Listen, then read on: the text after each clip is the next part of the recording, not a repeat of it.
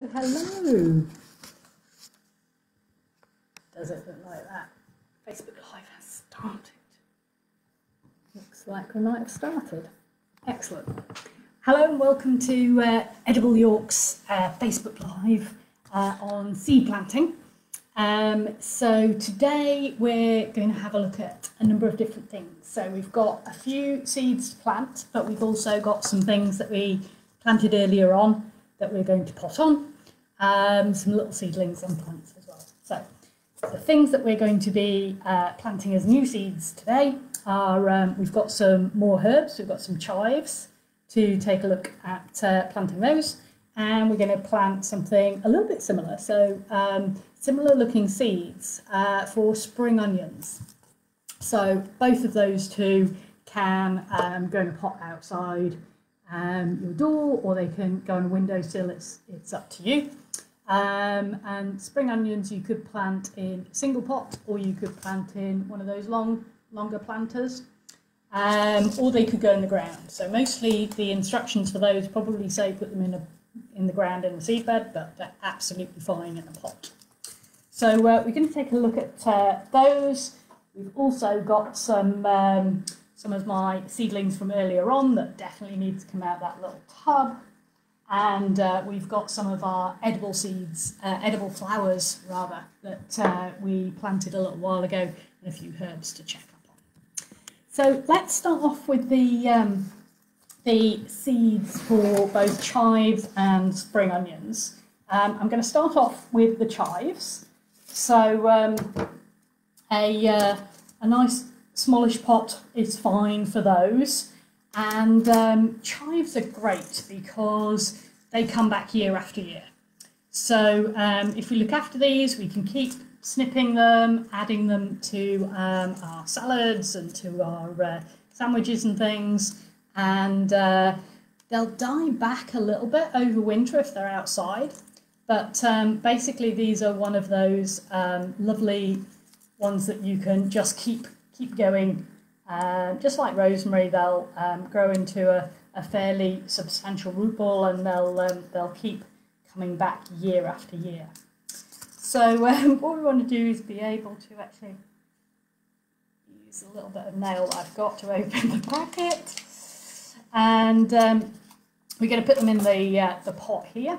Now I've put um, some soil in there, some compost in there so far, about that far down and um, you want to water it just a little bit to start off with.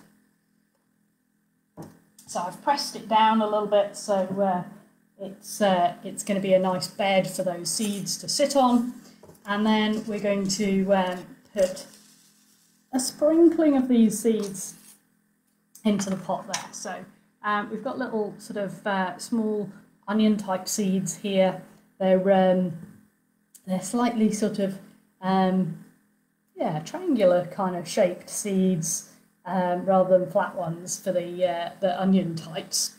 Um, so this will look similar if you've got onion seeds or if you are planting um, leeks or um, our spring onions, the seeds look fairly similar. So these ones are the chives. And uh, I'm going to take my pot there and I'm just going to sprinkle them over the top there.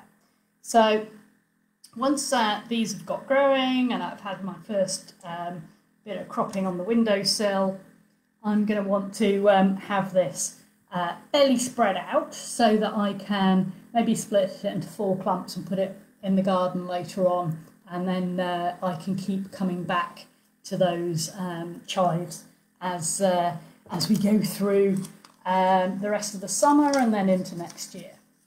So I've sprinkled them on the top there, and then I'm going to want to cover them up with um, probably about a centimetre of compost on the top there. So uh, I'm just going to put a bit of compost on top there and sort of push it down there. And chives are reasonably hardy. You could probably put these outside and let them germinate slowly, but um, if you let them germinate inside, um, it'll probably give them a little bit of a head start. Um, so again, like we've been saying before, um, they want to be reasonably, um, the seeds want to be in contact with damp so that they wake up and start germinating. So what I'm probably going to do is put this in a plastic bag to uh, start them off germinating, um, put it on the windowsill, um, and then I'm not having to sort of check in and water it every day because it's going to keep that nice and uh, a nice humid condition while the seeds germinate. And then as soon as they start poking up, you can take that plastic bag off and uh, they'll get going and they'll start producing some nice chives. So that's our first one, the chives. Now, spring onions, you want a slightly bigger pot. Um, and you could put these in a little trough if you want as well. Um, and I'm just going to um, put a few spring onions in here because I want to give them enough room to grow. So I probably want about sort of yeah, maybe nine or ten spring onions growing in there. Uh, but not all the seed will always germinate. And if you do get uh, more germinating and you think, oh, they're going to be too crowded in there, you can always pull some of them out and just, just eat them as uh, a very baby salad. So um, I've already put my compost in there. It's about yo far down and I've pressed it down a bit and I've already watered this one. And again, I'm going to uh, get my spring onion seeds out there. Again, you'll see they're pretty similar to the previous ones. We've got sort of little slightly triangular oniony type seeds um, here. And I'm going to kind of do three rows inside here for my uh, spring onions. I'm just going to kind of sprinkle them on the top there and uh, hoping for sort of yeah, nine or ten spring onions in that little pot and uh, just tap those seeds down so that they're definitely in contact with the damp soil damp compost. So, once we've got those in there, we can again cover them with a bit of compost and get those going.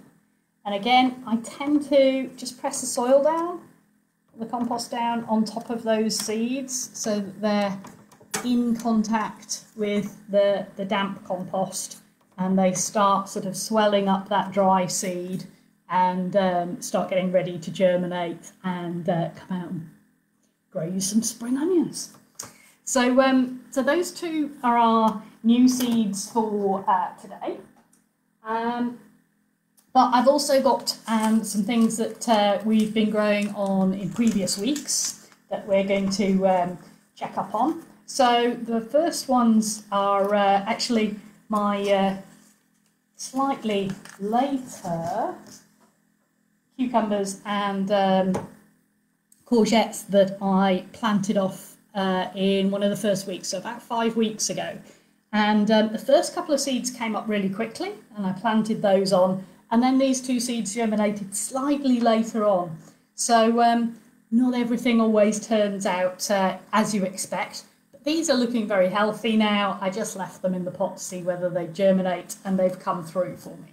So both of those two need to go into a bigger pot.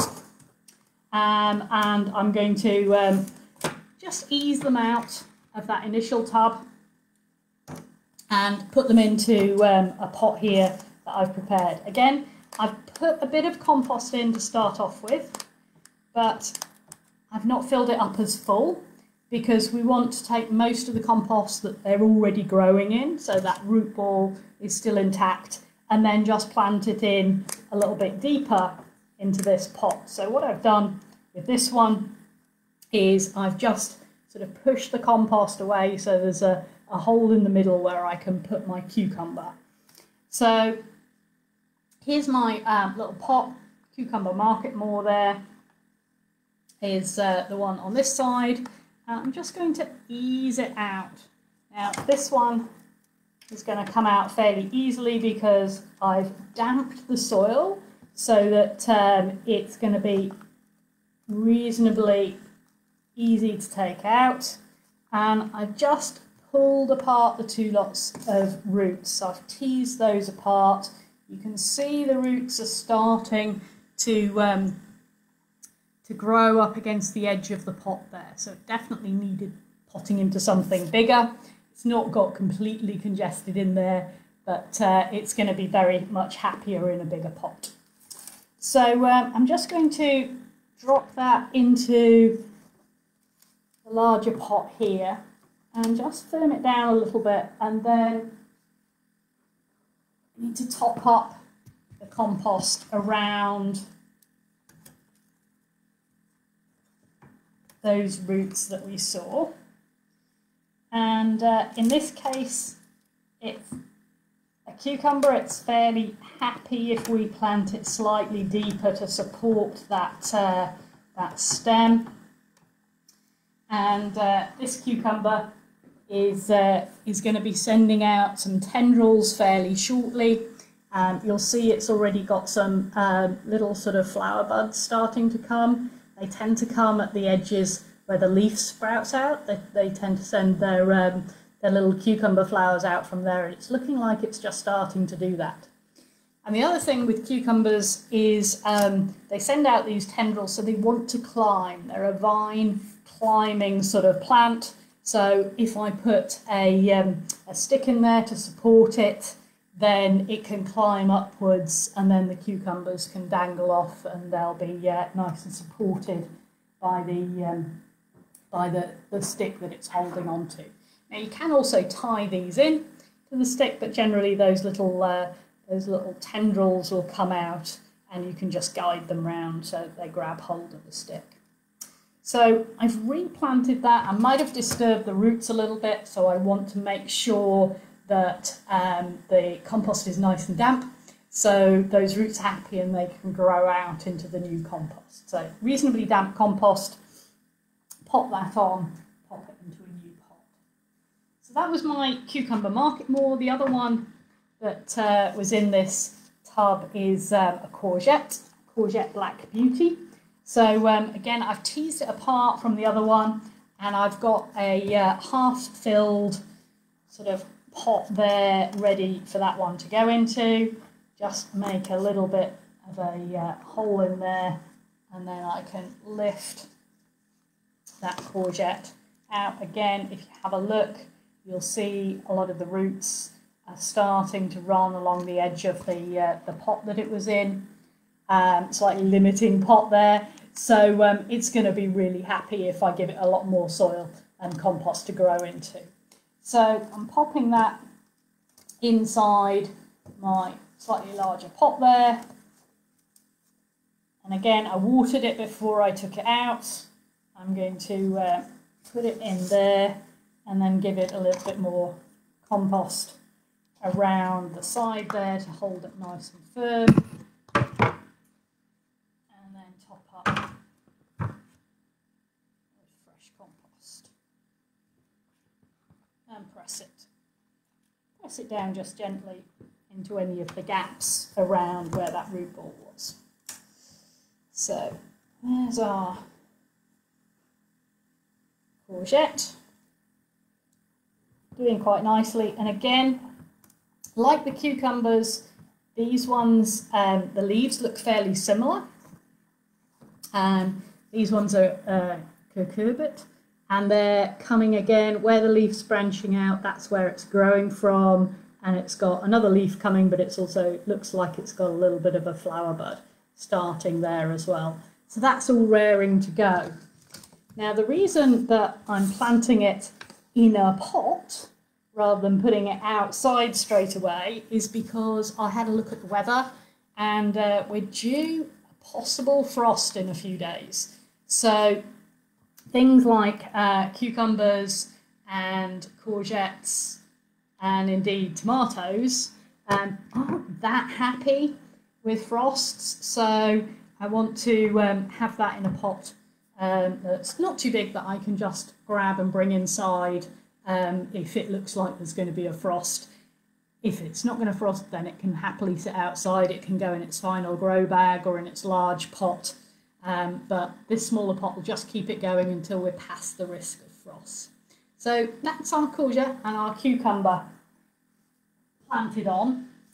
And they're going to be very happy. I can, uh, I can sit them outside most of the day, and if it looks like it's going to be cold, really cold overnight, then I'll bring them in. If they've been sat on your windowsill and you want to put them out um, into their final position, keep an eye on the weather. If it's not going to be really cold overnight, then uh, that's all going to be good. Um, but we're still a little bit early for Yorkshire, so um, we might still get a frost. So what I tend to do is harden them off. I put them out in the daytime, bring them in if it's going to be cold at night, put them back out during the day. Do that for a couple of days until they're hardened off. Oh, we've got uh, a couple of people joining us. Candida, hello, good morning, Candida, and uh, Uriel and Alison. Excellent. So um, we've uh, we've got a few people joining us on there. That's great. So um, I've done my chives and spring onions into pots and uh, watered those. On my courgettes and my cucumbers and I've watered those as well. Um, and the final ones that uh, are going to need to go into new pots are uh, some of our edible seeds, edible flowers that uh, I planted out um, two or three weeks ago. Now these have cracked on really well. Um, the uh, marigold, pot marigold calendula, that one, um, those seeds came up very quickly uh, and they're looking really healthy now. They could do with moving out of this small pot. Um, but next to them, I've got some pansy seeds. So little pansies, violas. Uh, those are lovely little flowers. Um, and those flowers are edible flowers as well. So both the calendula marigold and uh, the pansy seeds, both edible flowers. Now the pansies, that I'm happy for them to carry on growing in this pot. But these big calendulas um, definitely are ready to move on to something a little bit bigger before I put them out in the garden. So again, if uh, if you're comfortable that uh, your garden's ready and you can uh, plant these out either in pots or in the the uh, the border, then uh, that's all fine. Um, I actually want to um, pass on a few of these to um, some friends, so I'm going to pop them up into um, some of these modules so that uh, each of those can then be planted out later on really easily. So these little um, module trays um, just help you sort of plant out multiple things and then they can each grow with their little root ball and then they're very easy to plant out when you're ready.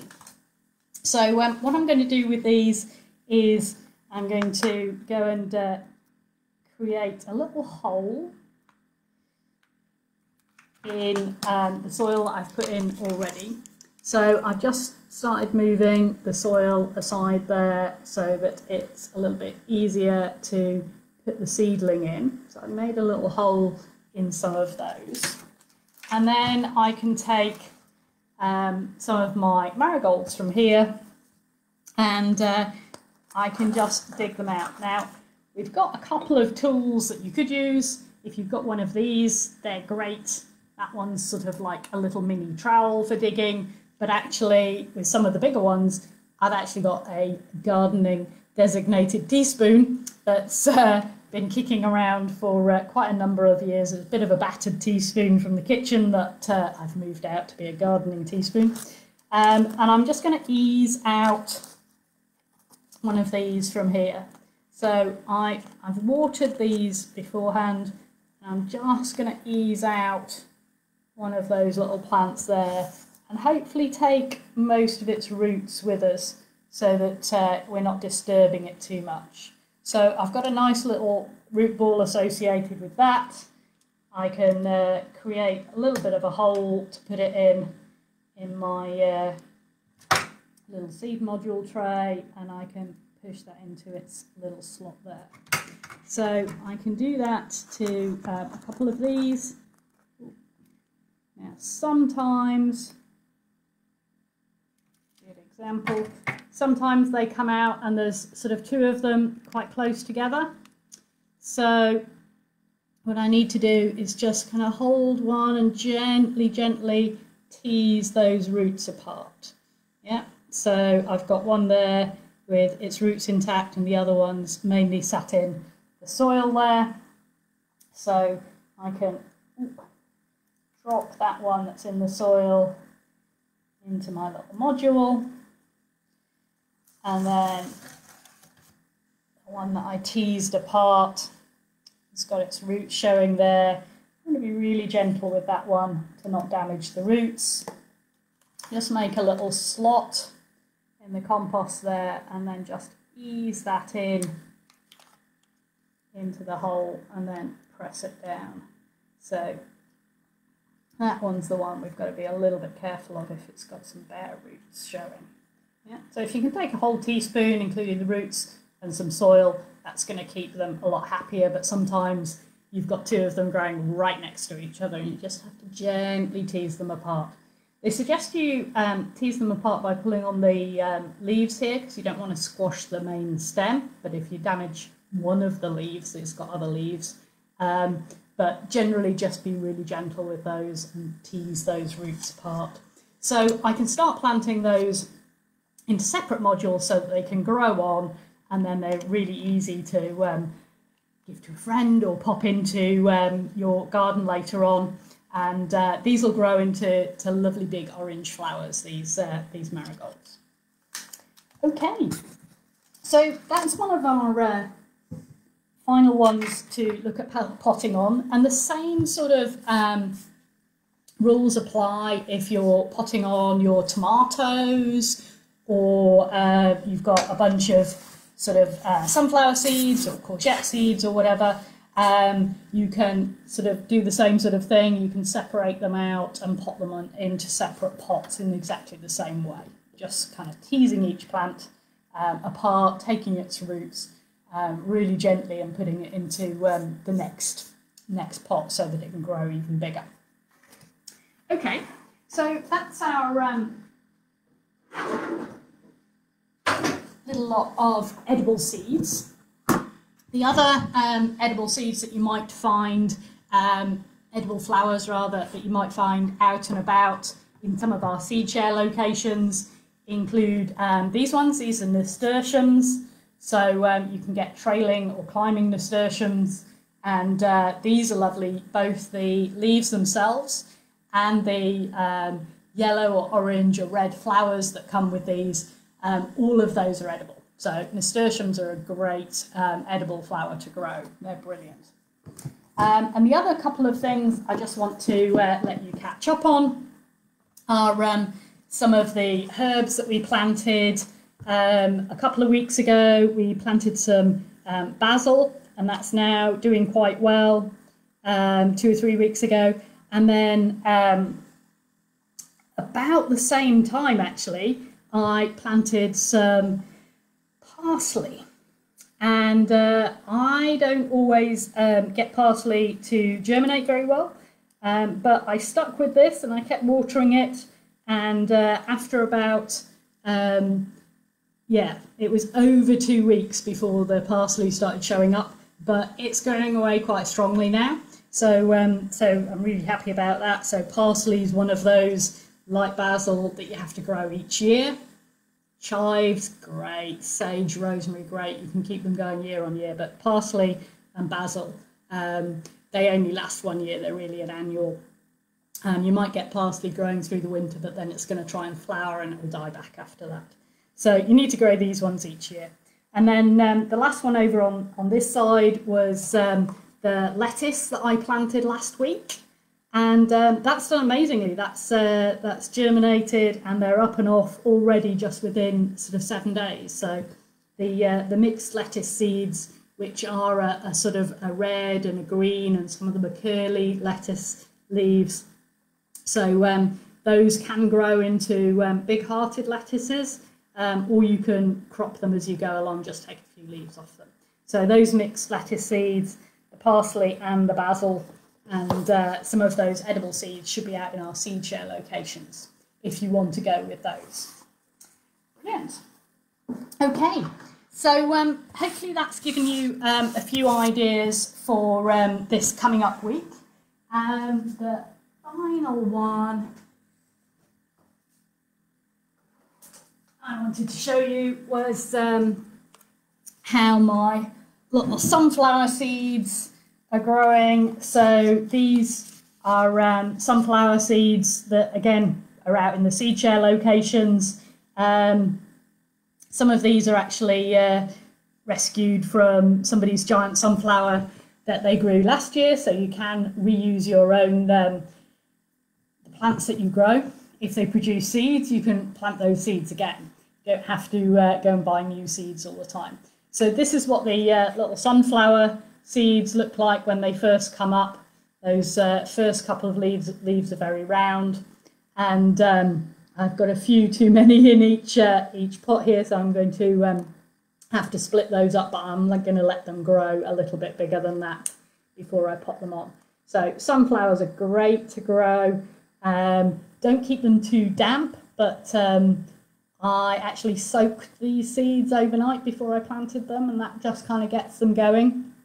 Um, but a great one to grow with the kids and uh, see how big your sunflower grows, etc. So uh, I've got a few growing there that I can plant out in the garden in two or three weeks once they've got big enough um, and uh, have some bright, happy looking sunflowers and see how tall they grow this year. So um, sunflowers are out on most of our seed share stations as well. So do help yourself to some of those. So um, if uh, if you've got any questions for us, do post um, on our uh, video here or post on our Edible York page um, and uh, ask any questions there. Um, but we've also got a lovely community um, of people swapping ideas and seeds and plants over at uh, the York Edible Exchange. So it's a Facebook group where you can ask questions and you can, um, if you've ended up with um, uh, 37 tomato plants, but none of your courgettes grew, that's the ideal place to go and swap some some seedlings with other people so that um, everybody can get growing and everybody can have uh, have the a range of different uh, different plants. So if you've got loads of one thing and you haven't got something else and you want it, then Edible York, York Edible Exchange Group, sorry, is uh, the place to go to ask questions and swap any of those plants. Cool. So thank you for joining us this week, and uh, we'll see you again each Thursday morning at uh, 10 a.m. or catch up on any of our previous Facebook Lives by looking for videos on our Facebook page. Thanks a lot.